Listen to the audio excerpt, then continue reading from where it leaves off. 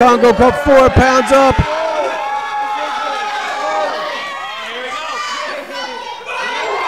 Oh, oh my God! Oh!